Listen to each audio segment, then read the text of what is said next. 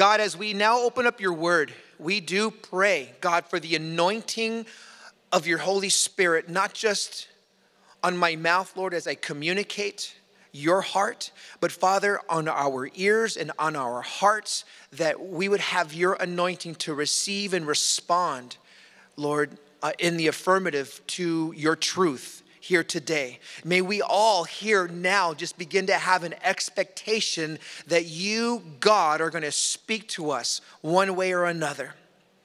So, Father, minister to us now in the name of Jesus. Amen. The title of this morning's message is God the Spirit and the Church. And so, what we've been looking at over the several weeks here now is you know, what my heart was, it was to introduce God the Holy Spirit, the person of God the Spirit to us as a church.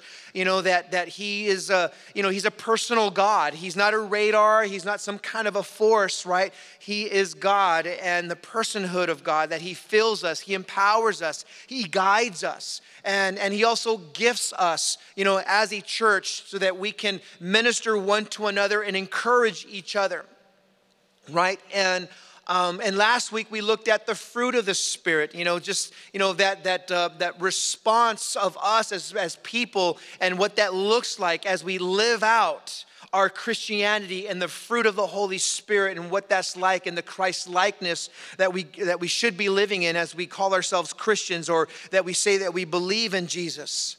But today I want to end with the role of the Holy Spirit, of God the Holy Spirit uh, in the church because the role of God the Holy Spirit in the church is like the most important thing, the utmost importance is God's role in um, God the Holy Spirit's role in the church.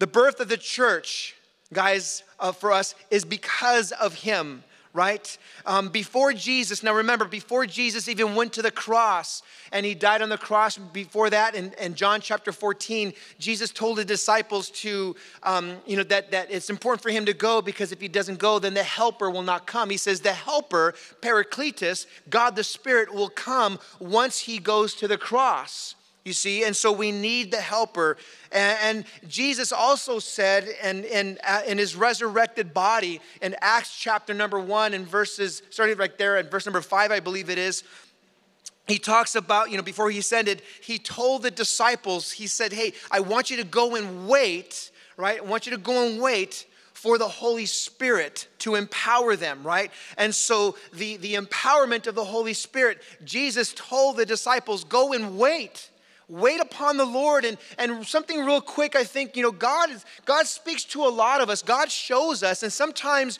you know, we in our human nature, we don't like to wait. We talked about this last week, right? About long suffering. You know, the, one of the fruits of the Spirit is long suffering. And, you know, but God says to go and wait right? And not just to go and do what we feel like I've waited long enough, Lord, it's been 10 minutes. No, it doesn't work that way. Wait upon the Lord. And so as they waited upon the Lord, and something, you know, really cool about that as I was thinking is that, you know, the the the, the obedience of the disciples, they obeyed. They, they were obedient to what God, what Jesus had said to go and wait. And as they enter in their obedience and waiting on God, we know that the Holy Spirit came down, right? It tells us that the Holy Spirit came down, God the helper, and empowered the disciples. And we're told that it was like tongues of fire that came upon the disciples there, and they began to speak in other tongues, right? And and minister the word of God. They were sharing all the wonderful works of God, you know, and and and that's what happened. And and so in Acts chapter 2, you know, is when we see that the church was then ignited. You see, the church was ignited because of the power and the work and the person of God the Holy Spirit right? And as the church is ignited at that moment, you know, thousands respond at Peter's sermon. Remember that? Peter gave a sermon, and, and we're told that thousands of people responded to the message. Friends, as you look, and I want to encourage you to read through and go through the book of Acts. The book of Acts is a narrative about the birth and the growth of the church. The birth and the growth of the church. Okay? And the work of the Holy Spirit. The birth and the growth of the church, not just then, but now as the church is continuing to grow. it didn't start because someone had a good idea. The birth of the church is not because of an idea that someone had. If the church didn't progress or grow because of some type of program that, that man thought of to do, right? Without the person of God the Holy Spirit, there would be no church. You see, it's all because of God the Spirit. God the Spirit is the power, my friends, of the church. They're at the birth and the growth, and Stephen still now. You know, after centuries and centuries and centuries, it's we, our reliance ought to be as collectively, not just personally, you know, but collectively as a church body on the Holy Spirit. Okay? And in Acts, guys, real quick, I'm not going to do a whole full review, but just to kind of get some, get bring us up to speed on some things here. The church in Acts is when the church begins, right? Thousands, as I mentioned, hear the gospel and they believe and they were and they are saved. We see that not just in Acts chapter 2, but also in Acts chapter number 4, when, when Peter and John they're they're filled with the Holy Spirit, and, and there was a man there that that that God had healed, and they began to preach Jesus right? And we're told that 5,000 people end up getting saved, you know, and they turn to God at that moment, right? And so, as we see, as you go on in, into, uh, into Acts, the church then they be, they come together, and the Holy Spirit, we're told, began to work mightily within the group of people, within the church body. As a matter of fact, if you would turn to chapter number five in the book of Acts, you see the, the, the book of Acts were told in the beginning of chapter number five there that um, Ananias and Sapphira, this husband and wife, you know, the church started coming together and kind of living in a commune type of, you know, way, and, and everybody was selling everything that they had and bringing it all to the, you know, to the church. It wasn't something necessarily that God wanted them or instructed them to do. It was something that they just kind of did naturally, and maybe it worked, you know, for that time. But there was a, a, married couple that said, hey, let's do the same, but let's not sell everything. You know, let's just keep back, you know, some for ourselves and let's just tell everybody else that we did, you know. And so as they did this, the husband comes into, you know, there to the church and, and Peter, God had gifted Peter with the, you know, the, with the word of knowledge. And Peter just addresses, you know, this, this man, the husband, says, Hey, why are you lying to the Holy Spirit? And, you know, he had an opportunity to repent, but he didn't. And because he continued to lie, he dropped dead. And then shortly thereafter, the wife comes and says, and they ask her the same kind of a question, and she died too because she was lying to the Holy Spirit. And guys, you know what? I, the reason why I want to bring that up is because the church early on was powerful. Why? Why I believe was powerful was because there was purity. You know, God the Holy Spirit was like, man, I want the church to be pure. And there was something powerful that was going on. God had a plan to start this new humanity, as we're going to look at in a second as well. But chapter number five, look at verse number 12. This is what it says. It says, And through the hands of the apostles, many signs and wonders were done among the people, and they were all with one accord in Solomon's porch. Yet none of the rest dared join them, but the people esteemed them highly. And believers were increasingly added to the church. Notice that believers were increased, God was just adding to the church. It was a work of the Holy Spirit. Multitudes of both men and women. And so they so they brought the sick out into the streets and laid them on beds and, and couches, that at least the shadow of Peter passing by might fall on some of them. Also, a multitude gathered from the surrounding cities at, to Jerusalem, bringing sick people and those who were um, tormented by unclean spirits, and they were all healed. You see, God, the Holy Spirit, was working through the church. Mighty things were taking place there. God, the Spirit, was working radically you know? And, i believe that god is the same yesterday today and forever. And i believe that god still wants to do acts you know miraculous acts of healings and and and not just you know transformations of, of salvation but also healings and other gifts of the spirit to be exercised and people responding to the holy spirit.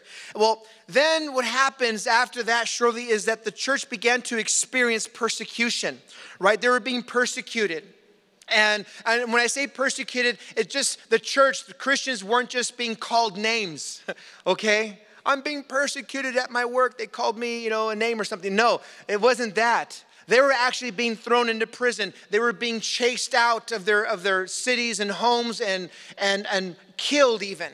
And in Acts chapter number seven, we read about the, of the first martyr, and that his name is Stephen, and he was killed.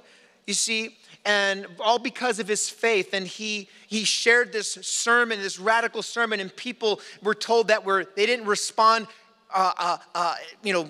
Correctly, they didn't respond in saying yes. They responded in wanting to kill him, and that's exactly what happened, friends. And let me share this with you: if it wasn't for the supernatural work of the Spirit, the natural man, this would have this would have stopped. You know, if it wasn't for if it wasn't a work of the Spirit. Like, in other words, what I'm saying is this: like if it was just a good idea, right? And some programs that people said, hey, let's just start the church and let's just do this, let's just see what happens. You know, once people started going to prison and getting killed, they would have said, you know what, dude, it's been good, but we're good. We're not gonna do this anymore because people are getting killed. But they didn't stop. They continued. You see, it was a work of the Holy Spirit. Look at what it says in Acts chapter number 7, at verse number 55. This is what it says. You can turn there or um, just listen as I read it. It says this. I'll start at verse number 54. It says, When they heard these things, as, as Stephen was preaching the, the, the word and the gospel, as they heard these things, they were cut to the heart and they gnashed at, at him with their teeth but he, Stephen, but he, being full of the Holy Spirit, gazed into heaven and saw the glory of God and Jesus standing at the right hand of God. And he said, Look, I see the heavens opened and the Son of Man standing at the right hand of God. Then they cried out with a loud voice, stopped their ears, and ran at him with one accord. And they cast him out of the city and they stoned him. And the witnesses laid down their clothes at the feet of a young man named Saul. And they stoned Stephen as he was calling on God and saying, Lord Jesus, receive my spirit. Then he knelt down and cried out with a loud voice, Lord, do not charge them with this sin. And when he had said this, he fell asleep. Or when he said this, he died. Listen, did you hear those words? He was full of the Holy Spirit and he said words that Jesus said. Because Jesus said the same thing when he was on the cross Father, forgive them, for they know not what they do. And Stephen hears, like, Lord, don't charge them with this sin. You see, only a man who's full of the Holy Spirit can say something like this right? And, and so here, this is what's going on. This persecution of the church is happening. Now, Acts chapter number 11. I wanted to kind of bring us up to speed on what was going on. In Acts chapter number 11, I'm going to start at verse number 19, and this is what it says. Acts 11, verse 19 says this. Then those who were scattered after the persecution that arose after Stephen traveled as far as Phoenicia, Cyprus, and Antioch, preaching the word to no one but the Jews only. But some of them were men from Cyprus and Cyrene who, when they had come to Antioch, spoke to the Hellenists, preaching the Lord Jesus. And the hand of the Lord was with them. Please underline that part in your Bibles. And the hand of the Lord was with them, and a great number believed and turned to the Lord. Then news of these things came to the ears of the church in Jerusalem. And they sent out Barnabas to go as far as Antioch. When he came and had seen the grace of God, he was glad and encouraged them all with, with the purpose of heart that they should continue with the Lord. That they should remain faithful to the Lord with, with a steadfast purpose. That's what Barnabas was encouraging them with, right? For verse, verse 24, for he was a Barnabas, for he was a good man, full of the Holy Spirit and of faith, and a great many people were added to the Lord. You see, it was a work of the Holy Spirit in the church. Friends, listen. So just take a look at this right here. That this persecution, the persecution that was going on, resulted in the church being scattered scattered, persecution. Now, the world, the world would equate persecution. Really, what was going on, friends, listen, is that they, the, the church, people who were putting their faith in Christ, they were being defeated. They were being wiped out. They were being put in prison. They were being persecuted, and now they're, they're running and they're being scattered. In the eyes of the world, this kind of persecution and defeat is failure. It's failure. As a matter of fact, there was a religious leader said, "Hey, you know what? Let's just see what happens. It's probably going to fizzle out. Nothing's going to come of this because while they're being persecuted and they're scattering." Right? And that's really, you know, in the eyes of the world, okay, yeah, they're being defeated. It's not going to work, you know? But but God, I love that phrase. In the eyes of the world, yeah, it looks like defeat. In the eyes of the world, they're being persecuted. It's not going to work but God. But God. I love that quote or that those two words. But God will use God will use persecution. God will use even use what seems to be like defeat as an opportunity as for success. Amen. He will. And now, when I say that, my friends, I'm not talking about, oh, you know, the persecution and, and, defeat as an opportunity for success because sometimes we today think of success in monetary terms, right? Money and things, stuff, you know, status. Man, I'm successful, you know. That's the eyes of the world sees success in that way. Not success like that. Success in the advancement of the gospel of Jesus Christ. I don't know about you, but I hope and pray that, that that's your passion that you see success as God is doing great things in our world and the platforms in which God has given to you. Wherever it is that you are, wherever it is that you work, that you can be like, man, you know, God is going to give me success here to preach the gospel and to do good things and to minister to bring glory to the name of Jesus Christ. You see, when God the Spirit is leading, that's exactly what would happen. When God the Holy Spirit is leading you, leading us in our lives, regardless of the persecution, with regardless of what may be going on in life, God was, is going to get the glory, and there will be there will be an advancement of His kingdom somehow, some way. How is it going to look? I don't know. All I do know is that it says this. Write this reference down in your Bibles. Romans chapter 8, verse 28. That verse says, All things work together for good to those who love God and to those who are called according to his purpose. All things work together for good. Let me tell you some, something, friends. I don't always understand when, when God is doing things, but I do know this that God is able to take our tragedies, our failures, our pains, our hurts and our sorrows for His glory, when we surrender to Him, He's able to take it and make something beautiful out of it. He's able to do, you know, do exceedingly abundantly above all that we ask or think when we surrender it to Him. All things work together for good. I don't know how that works.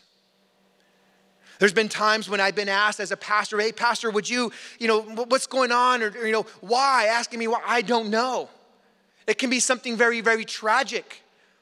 But I do know this even in the most tragic event that might take place, if it's surrendered over to God completely, all things work together for good. I don't know what it's gonna look like, I don't know how it's gonna turn out but I know that it's going to work for good when it's surrendered in His hands. And let me tell you something, friends. Probably during the time of this persecution, as these Christians, we don't even know the names of them, right? But they're being scattered, they're being run out, they're being driven out. That they have to go and hide, and they're, they're going, you know, here as it says, to Cyprus and Cyrene.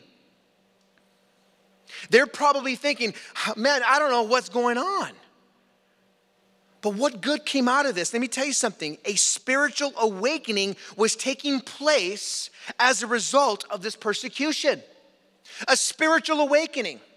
Do you know what that means? That means people that that were dead in their sin. It means people that were living their life in darkness, searching for truth, because these Christians are now being scattered. They're going to these places right here, and they settled down right there in Macedonia, and now they're hearing the gospel that's opening the ears of their heart. Uh, the scales of their eyes are falling, and they're coming to faith in Christ.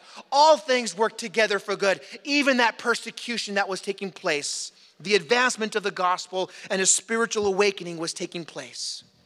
You see, that was God the Holy Spirit directing and leading. And friends, we don't always understand why or what's going on with in God's plans. And then in verses 22 and 24, news of this awakening traveled to the leaders there in Jerusalem, right? And we see, we read here that Barnabas, you know, he was saying, hey, Barnabas, why don't you go over there to that church there in, um, in Antioch and see what's going on? And Barnabas, we know he's, he's AKA, his nickname is son of encouragement. He was an encourager, he had the gift of encouragement. He was, we're told here in the scriptures that he was full of the Holy Spirit. He was full of the Spirit. What does that mean? What does that look like for a person to be full of the Holy Spirit? Are, are they gonna like have an extra glow about them? You know, are they gonna glow in the dark? You know, remember those glow in the dark stickers and stuff like that? You know, is, is that what that means? That's, that's not what it means. You know, full of the Holy Spirit in a simple way, guys. It means a person who's to live his or her life with a purpose to glorify and please Jesus. Full of the Holy Spirit because the Holy Spirit, remember, is to bring glory to God, is to direct people to Jesus and glorify the name of Jesus. And when you are, when we are, are full of the Holy Spirit, that's exactly what's going to happen. You're going to have a desire and a passion to please Jesus in all that you do right? To bring glory to the name of God.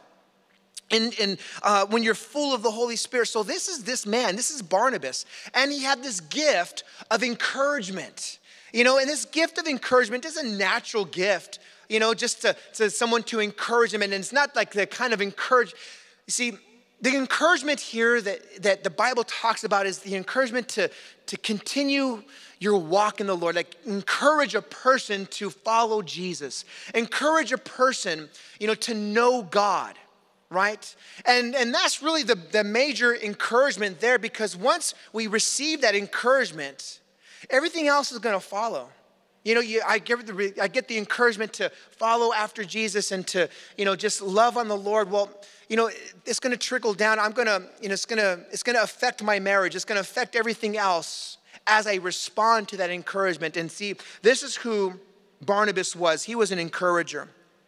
And what's really interesting here is that you don't have, and you don't see an official position for anybody, you know, and, you know, to actually be this kind of encourager. You know, it's not like, okay, um, you know, yeah, well, oh, that's the encouragement is, well, pastors and the ministry leaders, they're the ones that are to encourage everybody. That's not how it works. You know, that's, we, you know, you can encourage me. You know, we can encourage one another. You can encourage people at your workplace and not so much, I'm not saying, hey, encourage them, hey, come on, guys, we can work better. That's not, that's, that's a good thing too. But encouragement, hey, let me encourage you that somebody loves you. Let me tell you who that somebody is.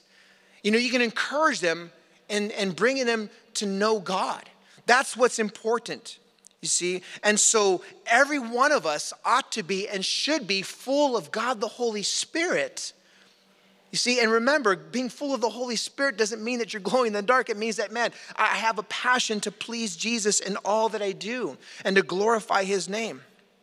And so, not only were they encouraged here, the church body, but we see that many people were added to the church. Did you see that right there? Many people were added because of what was going on. It was a work of the Holy Spirit that was going on. It, was, that was, that's it. Remember, friends, the church, as we're told in Ephesians in chapter number two and verse number 15, that the church is a new humanity. Okay, it's a new humanity, a new man. Ephesians chapter 2, 15 says that, you know, really the idea there is that, that God came, you know, Jesus died on the cross, you know, to knock those barriers down so that Jews and Gentiles can have this oneness, a new humanity, a new man, right? And that new man really is the church. That's us Okay? That's us. And as this new, and God just doesn't leave us there as, uh, you know, that's it. You know, we have to figure things out all on our own collectively. No, God, what does, what does He do? Remember, the Holy Spirit, the Helper, has come alongside. The Holy Spirit came to empower us to be about His business, to fill us, the Holy Spirit, to fill us and to lead us and empower us to be about God's business and to live with a Christ likeness. See, that's the work of God's Holy Spirit in the church. Friends, listen, without God, without God the Holy Spirit, okay, now listen, the church is just a, so, a social club. Without God the Holy Spirit, the church is just, just a club, just something that we do, a place where people come to feel better about themselves without God, the Holy Spirit. And the unfortunate thing is that many people come to church just for that purpose. I go to church, it makes me feel better about myself. It's not the purpose of the church at all.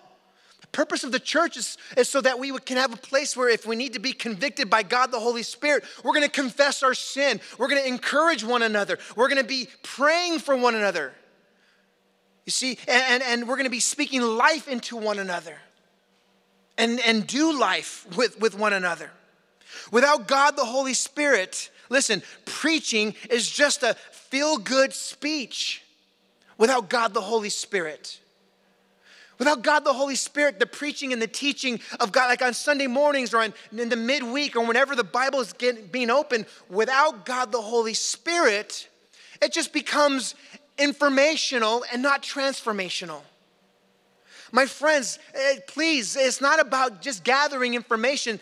You know, yeah, we should be growing in our understanding and, and, and, and the doctrine of, you know, of biblical doctrine, but that shouldn't stop there. It should be transforming our lives to be more like Christ if you're not living your life, if you can't, if, if you're like, man, my life really hasn't changed in the past five years, I still do the things that I've been doing, but I like, I like to come to church, I'm gonna encourage you, what's, what's up? What's going on? Because there should be a transformation that's taking place. See, and, and, and my friends, we need the Holy Spirit as a preacher as someone who preaches, as someone who, you know, communicates the gospel, I need the Holy Spirit, the anointing of God's Holy Spirit to speak through me. But it's not, doesn't end there. See, some of you like, yeah, man, we, we pray that you get anointed. Well, I pray you get anointed. That your ears, that the ears of your heart are anointed to receive all that God has.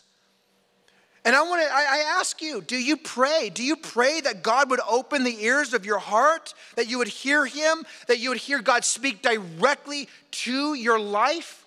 Do you ever pray that when you're, you know, walking in, you know, driving up to on a Sunday service or midweek, or you're about to listen to a Bible teaching on the radio? God, would you speak to me directly? I need, I need the anointing of your word right now because I'm hurting, because I'm sad, because I have, I have questions and I have concerns and I'm confused. Because I feel like I'm gonna give up. See, many people, many people in the church have those feelings of giving up, of, of just, ah, forget it. And then they just give up without, without going to God and asking God. See, we need that. I need that. We all need the anointing of God to hear that. And that's through the work of His Spirit. And I pray, you know, one way to, one thing to pray, one way to pray is pray that God gives the humility, the humility in your life. That God will give you the humility to respond to His truth. The reason why many people don't respond to the truth of God is because of pride it's because, well, that's just not how I am, people say. I'm not like that. I don't do that. Or I just had this pride, and it's like, oh, you know, and then you're not responding to what you know that God is calling you to respond to because you can sense it, but you fight it off. How many guys know what I'm talking about? You see? I know that. Oh man, when the invitation comes to get up out of the seat and maybe to come forward, I know He's gonna do that and you have that tug I want to get up, but I don't want to get up. I don't want people to see me. Trust me, people ain't looking at you. And the, and the thing is, is that we shouldn't really be concerned about what, what people see. We should be concerned about what God sees because God sees it all. He sees it, He sees it all. And He hears it all. See, without God, the Holy Spirit, an outreach is just a concert. Without God, the Holy Spirit, an outreach is just a man's effort to do something cool. And trust me, I've been there and I've done that. And I've repented from that because there's been outreaches that I've been a part of and we've done. And it's just like at the end, we, you know, week goes by, it's like, why did we even do that? Why did we spend all that money for, for what? What was it? What was it for? You know, time and effort and money, and what was it for? You know, it's like, man, that was just an, an effort out of the flesh. We need the direction of the Holy Spirit of God because we feel that God maybe wants to do something and do something radical. And so, yes, we need the power and the work and the person of the Holy Spirit, even to do an outreach. Without God, the Holy Spirit, friends, in the church, without God, the Holy Spirit in the church, we just we rely on strategies and past revivals. That's what happens you know, I have a, I was talking to a young person earlier in the week, and, you know, they were just talking about how, um, you know, just going to different churches and, you know, kind of like, you know, I was asking, well, what's your walk with the Lord like? And they're like, ah, well, it's kind of like we're kind of looking for churches. And, you know, um, we went to a couple of churches and we heard that these different bands or these different groups are going to be doing their gigs there and everything. And I'm talking, I said, hold on, time out. So your, your you went to church where they're doing gigs? He's like, yeah, that's what they're calling gigs. I'm like, bro, well, there's a big problem right there. That's a strategy. That's man's effort. You know? What is it? And, and he goes on to share that, you know, yeah, well, you know, the kind of places that they're looking for is like you know places that are really relevant you know and very hip and they got the they got the the smoke screen the smokes and the lights and all. And i'm not saying that smoke and, and lights are bad in and of themselves but when that becomes the strategy of the church to draw people in so they can be a part of a social club so they can say man that was cool. I had fun. That was like a good concert level type of music. Let me tell you something. The church then is missing something and this is where I see and I feel the church is hurting today. Because many people are chasing, it seems that without the leading and the direction of God, the Holy Spirit. The, the church was birthed because of the Holy Spirit. We need to continue to rely, as a church, rely on God, the Holy Spirit, not on schemes or strategies of man, but on God the Spirit, not on past revivals that took place, you know, 60 years ago or 50 years ago or whatever, right? There is an anointing of God, the Holy Spirit, in planning. And so I'm not saying that we shouldn't plan. We should plan, and we need to rely on God, the Holy Spirit, to direct us in the planning because God is the God of order. And I believe that God wants us to continue with that. Even in our planning, however, we need the Spirit of God. And we can also celebrate the past work of God and the revivals. You know, the Azusa revival, we can look at. I, I pray, I encourage you, read books on that. They're fascinating. I love it. You know, even with the Jesus People movement, and you know, uh, Pastor Greg Laurie, he came out with a book on the, you know, that Jesus People movement not too long ago, about a year ago, and and he just made an announcement that they're going to make a movie about it, and that's good. These are good things to celebrate. But my friends, we can't ride on the coattails or on the little ripples of a past revival. Yesterday's revival can easily become today's religion. We need to pray and seek for a fresh work of the Spirit. Did you guys get that? Yesterday's revival can easily become today's religion. We need to pray and seek for a fresh work of God, the Holy Spirit, within the church. Within the church. The church doesn't belong to us. Remember that church is not of a building with four walls and a steeple at the top. That's just a building. The church is us, right? Ecclesia. In Spanish, iglesia, it means called out ones. That's who we are, right? You and I are the church. It's not a building. And it's, so it's us. We need to continue to seek that and to pray after that for a fresh work of the Holy Spirit. And I don't know about you, but I feel, I sense in my heart. I don't know if you sense this, friends, but I do. I feel like God wants to do something great. And I'm seeking that, and I'm asking, I'm asking the Lord, you know, God's been giving me like just ideas and vision for about a year now. You know, and I'm praying about them because I don't want to have a knee jerk reaction and go out and do them because I want to make God, are you leading? Are you doing something? Is it something fresh? Is it something new? Is it something different that you want to do in my life, right? For the expansion of the kingdom of God. Did you know that most of the ministry that I get to do as a pastor is outside the church body? Really, it truly is. Outside within school district right? City officials, you know, police department, just going out and, and ministering and sharing and, and letting people know about God. I'm not like, hey, I'm a pastor, so I think you should listen. I don't do that. It's like, hey, man, you know, what's up? What's going on? And the next thing you know, I'm in back of my mind, I'm in the barber shop and I'm sitting getting my hair cut from this, from a, you know, new barber that don't know me and everything. And, and it's just like, I'm like, okay, Lord, give me the opportunity to talk about God, you know, talk about you. Sure enough, guess what he asked me? So, what do you do for a living? Oh, I'm a pastor. Oh, wow. So you do that all the time? Yeah. Wow. So you don't look like a pastor. I don't know what a pastor's supposed to look like. Maybe I should start wearing that collar. No? Okay. Yeah. No, I won't. yeah. But anyway, it opens the door. Guys, that, that's what God's called us to do. And so I'm constantly praying, God, would you give not just me, but it's for us as a church body, what is it that He wants to do in our lives? We need to depend on Him. And God will use tragedies, God will use heartaches, God will use hurts, God will use pains. God will even use our confusion of, I don't know why we're doing this, God, but as we're, but we're, we're trusting you, God then will do something great. Nothing that took place in Acts chapter number 11 was the work of man.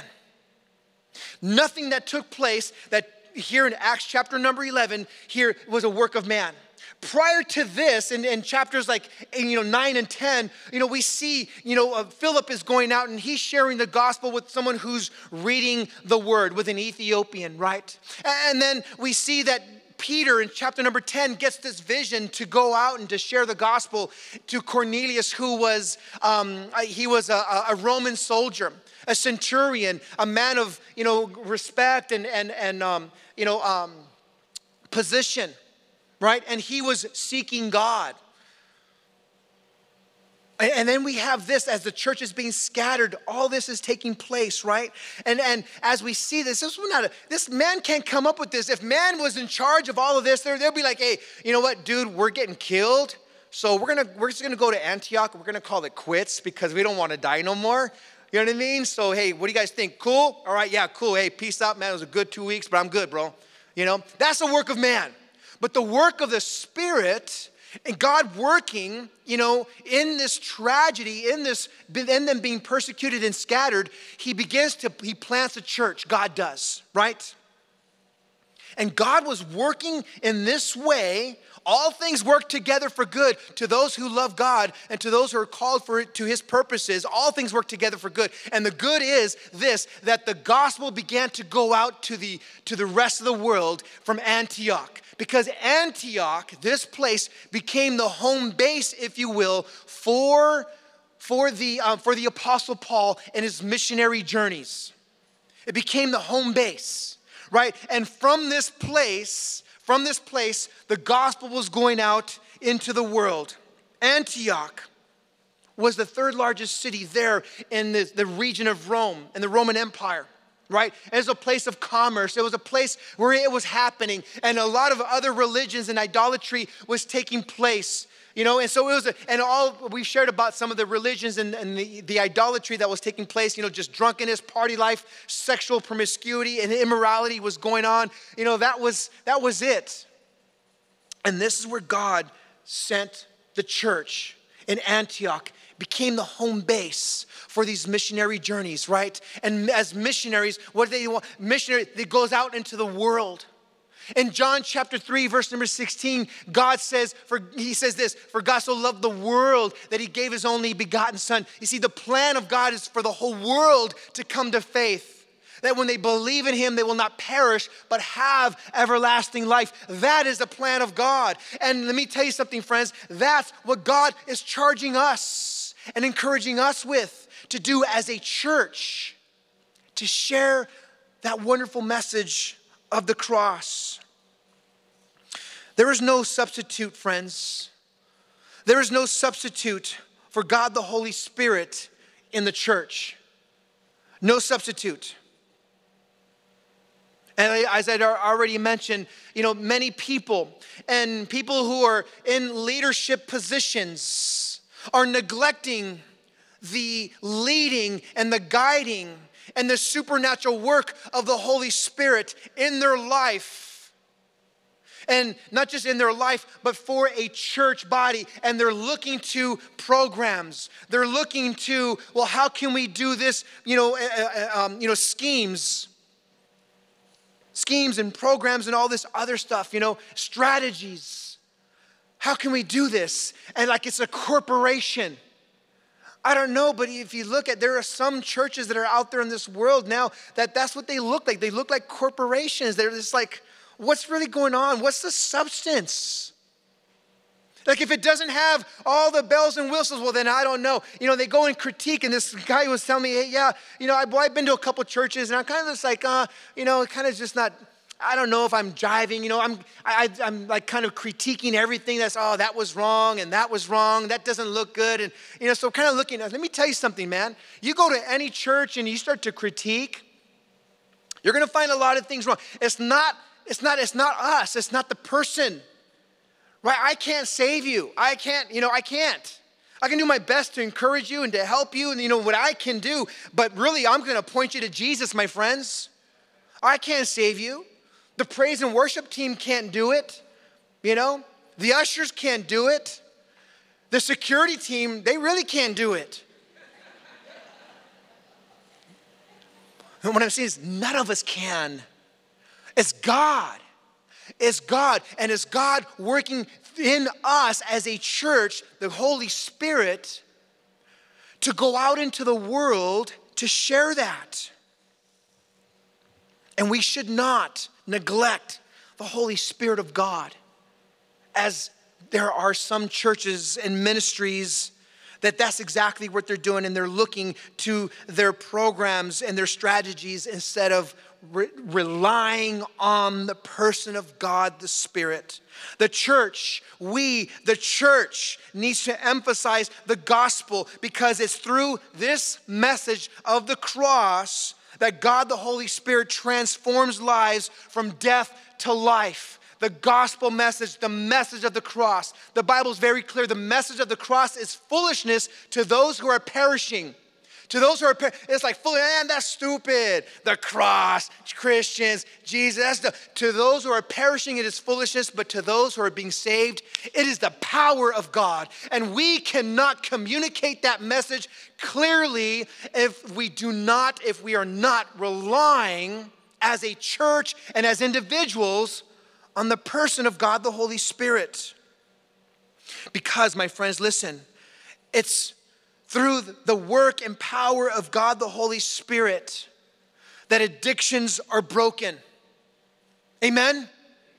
It's through God the Holy Spirit that addictions are broken. It's through God the Holy Spirit that marriages are restored. It's through God and the work of the Holy Spirit that, people, that the sick are healed, that the confused that are living their life in so much confusion receive clarity. It's through the work of God's Holy Spirit. It's not through me, it's not through anybody else, but God, the Spirit.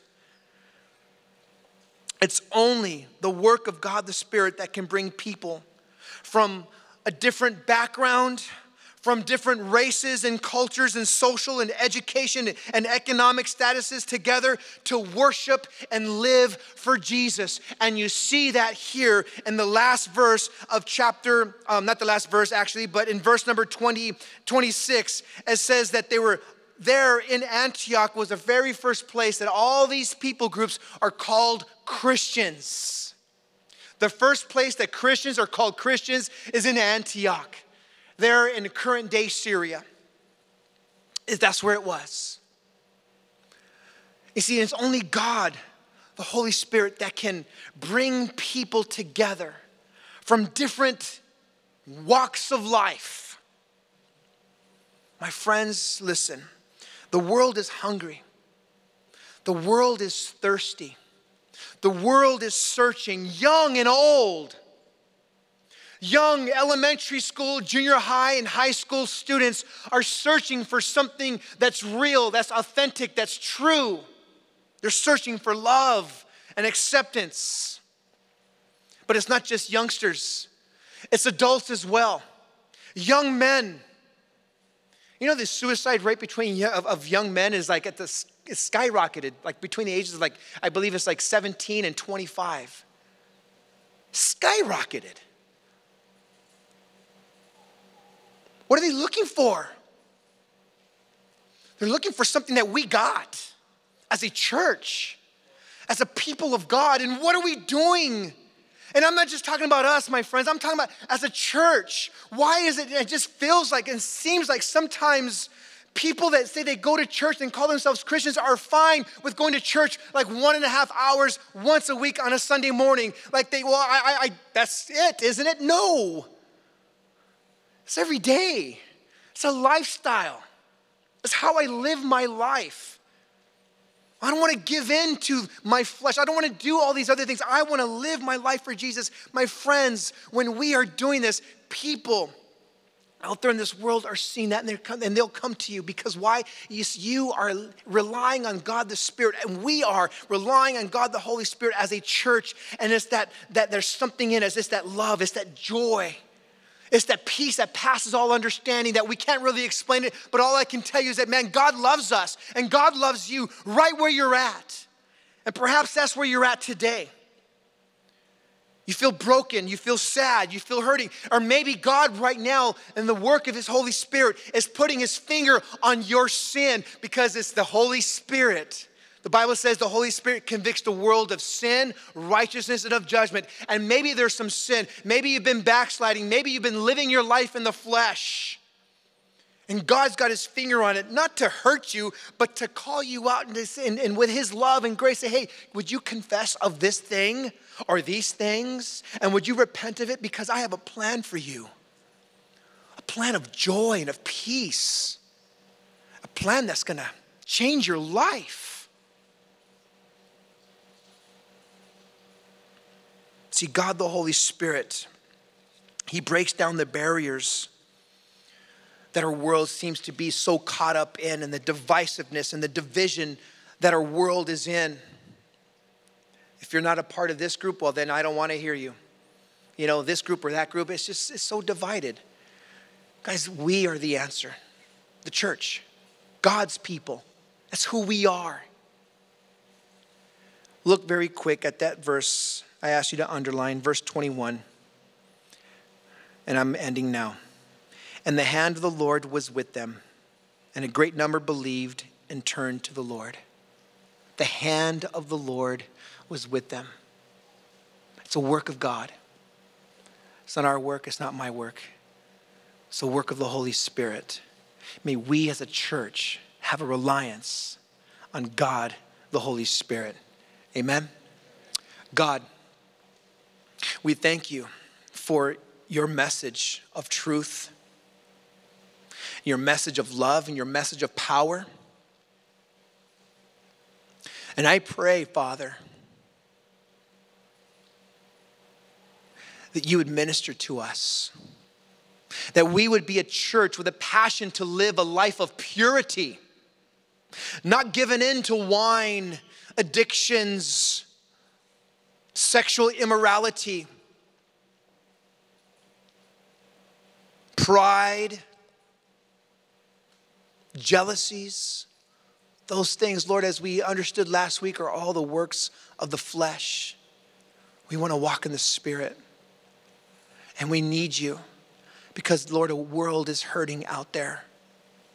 And we believe, Lord, that you want to use us. You want to, you want to use your people to make an impact in the lives of people that you sent your son to die for.